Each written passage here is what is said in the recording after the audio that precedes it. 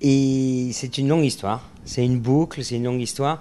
C'est vrai que c'est le même festival hein, qui, a changé d'endroit, mais, euh, mais c'est le même festival. Donc quand on est euh, jeune court-métragiste et qu'on reçoit un prix, et son premier prix avec son premier film, j'avais 25 ans, ou 24, je sais plus.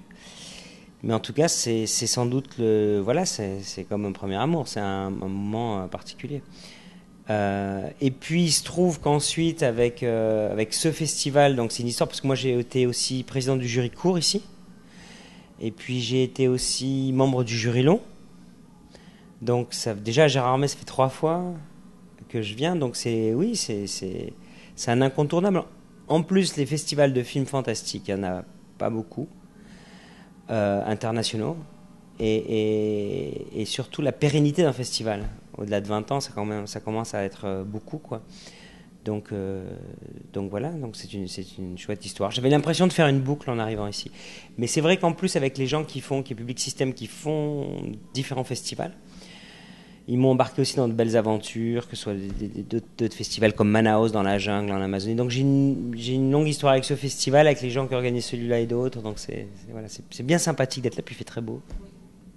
Bah, chacun ses goûts. Hein. Moi, mes goûts, c'est, vrai que j'aime être surpris en fait par un film. J'aime qu'il, m'entraîne euh, au-delà des sentiers très battus du genre, puisque c'est un genre très codifié en fait.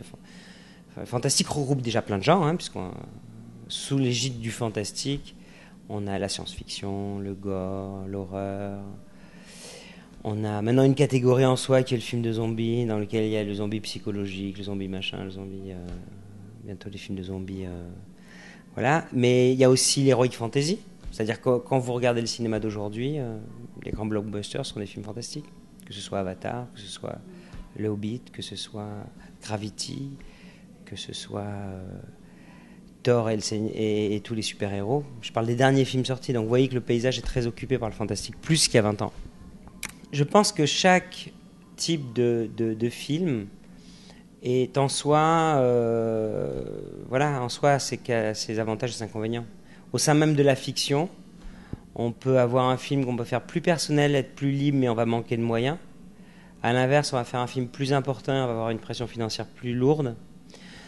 Euh, après, les documentaires, pour moi, c'est du cinéma, c'est des longs métrages documentaires, donc c'est des films dans ma filmographie que je place au même titre que les, que les fictions, ça c'est des aventures humaines particulières, ce sont des sujets qui vous embarquent, mais comme un long métrage c'est pareil. Hein. Euh, voilà, et ensuite les courts métrages, je regrette, j'en ai fait encore il n'y a pas trop longtemps, il y a quelques années, mais je regrette, euh, regrette euh, qu'il n'y ait pas un système qui nous permette en tant que cinéaste de faire plus de courts métrages. Parce qu'il y a des histoires qui valent euh, la peine d'être raconté en 5, 10 ou 20 minutes. Hmm. Et voilà, comme les nouvelles. Il y, a des histoires, on a envie de faire une nouvelle et, pas un roman forcément. Donc, euh, donc ce genre-là est difficile. C'est plutôt considéré comme un. Et c'est vrai que c'est une façon d'apprendre son travail. C'est vrai que c'est un travail d'artisan d'être cinéaste. Donc il faut faire. Euh, mais c'est voilà, je regrette juste qu'il n'y ait pas une sorte pas, d'industrie, mais d'économie qui permette à la fois de pouvoir faire des courts-métrages et que ce soit pas vous qui, les financiez en, fonds propres, en fait. Euh, sinon, euh, sinon, moi, j'aime faire des choses différentes. Je, par exemple, le dernier film que j'ai fait, c'est un, film que j'ai co-réalisé avec Anne Paris et qui est une installation vidéo pour euh, le cinéaste, cinéaste et écrivain Atik Raimi, qui fait une expo à Paris la semaine prochaine et qui m'a demandé d'occuper sa salle vidéo. Donc j'ai fait sorte de film art contemporain, quoi. Enfin, très très libre. Euh, et c'est vraiment intéressant. Ça reste, ça reste du 5 minutes de, de, cinéma. Et, et parallèlement, il y a, y a Agoria, le musicien avec qui je m'entends très bien, qui est, qui est, de la musique électronique. On, a décidé de faire un film expérimental ensemble. Il m'a proposé aussi de faire, euh, faire son show, la, la, scène. Donc en fait, on raconte des histoires, il y a une dimension de plasticien. Moi, j'ai fait les arts déco, donc je, suis, dessine aussi. Donc, euh, j'aime bien changer. Déjà, dans la fiction, j'aime changer. C'est-à-dire pas refaire le même film, aller dans des genres différents. Hein. Mes fictions explorent des genres différents. Donc, euh, avant tout, je pense que, voilà, on a envie de, se dire que telle histoire mérite d'être racontée d'une certaine manière d'autres, c'est pas une histoire, mais c'est une sensation, on peut la faire passer autrement.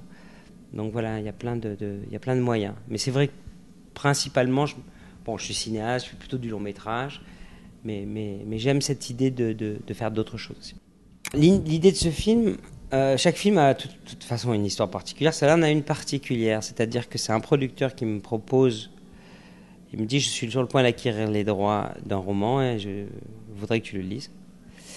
Et je lis le roman et quand j'arrive à la moitié, qui est le, donc le roman de Ian Levinson, qui s'appelle en français, qui s'appelle euh, Trois hommes, un chien, une langouste. Euh, et un et quand je suis arrivé à la moitié du roman où je, me, suis dit oui c'est juste c'est vraiment il y a un film à faire.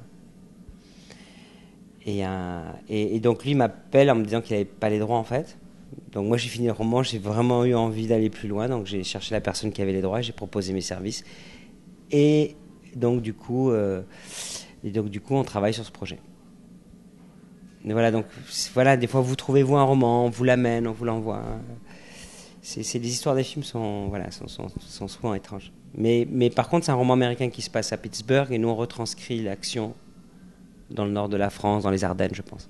Alors, Wind Walker, c'est l'adaptation du roman d'Alain Damasio, qui est d'ailleurs ici avec nous, euh, La Horde du Contrevent, qui est un roman culte français. Qui est, pour, moi, quand je l'ai lu, c'était le Dune français, c'est-à-dire un, roman univers. Euh, euh, et donc là, on développe un projet qui serait de faire deux films. Donc c'est un peu le Seigneur des Anneaux. Enfin, c'est un peu une chose épique, lourde, complexe, qui serait fait en animation mais en motion capture. Ça veut dire avec des acteurs et des capteurs comme a été fait Avatar par exemple, sa partie Navi. Euh, et voilà, donc c'est un, c'est un projet ambitieux, de longue haleine. Euh, donc voilà, c'est un projet qui a déjà commencé il y a à peu près deux ans. On est allé déjà faire des tests au Japon pour, pour voir les motion capture. Mais c'est un projet un peu pharaonique, donc c'est un peu comme la pyramide de Khéops. Euh, voilà, je ne sais pas du tout quel va être le planning de, de, de ce film. On n'avance pas à pas. Mais c'est un, voilà, c'est un projet artistiquement très excitant. Il y, a beaucoup de mouvements dans le cinéma. Donc, je n'ai pas un coup de gueule, mais, euh, mais j'ai un peu l'impression qu'on avait fabriqué un système qui, avait des défauts. Et je trouve qu'il y a beaucoup de mouvements qui font que cette année, et je vois autour de moi, il y a beaucoup de films qui ne vont pas se faire, il y a beaucoup de difficultés. Donc, bon, après, c'est des problèmes du cinéma, c'est pas des. Après, il y a toujours. Mais donc là, je sens aujourd'hui dans le cinéma que l'année 2014 euh, va être difficile. Voilà, dans mise en production de films, parce qu'il y a des nouvelles règles qui ont changé. Voilà, c'est un, un, truc complexe. Voilà, mais enfin, voilà. Et sinon, de façon générale, les problèmes sont toujours de plus en plus présents en Amazonie, en fait. Euh, effectivement, j'ai fait un petit film pour Raoni avec Vincent Cassel concernant le barrage de Belo Monte. Je crois que ça s'arrange pas. Je crois que voilà. Euh, c'est toujours intéressant de, se dire que tout le monde a, voyagé avec Avatar, trouvé ça formidable, mais en fait, euh, ça parle exactement de nos problèmes d'aujourd'hui, je mieux de citer les autres. Et ça se passe en ce moment en Amazonie, au Pérou. Enfin, au Pérou, là en Amazonie euh, brésilienne, mais ça se passe partout. Et moi qui y vais, j'y vais entre la coupe de bois, entre le. Voilà, c'est toujours un petit peu euh, déprimant et j'ai toujours l'impression qu'on voilà, qu'on risque de se réveiller euh, trop tard. Mais bon, et voilà, je crois qu'il faut se battre sur. Euh, après, même dans les médias, dans le web, aujourd'hui, là, je commence à voir qu'il y avait des, qui, ont voulu euh, varier les débits pour que. Il y avait toute une sorte de prise de pouvoir, les tentatives de prise de pouvoir sur, sur, aussi sur Internet. Donc, je crois qu'il faut être vigilant partout. Voilà, donc n'hésitez pas à m'envoyer des, liens ou des pétitions sur ce qui concerne les choses.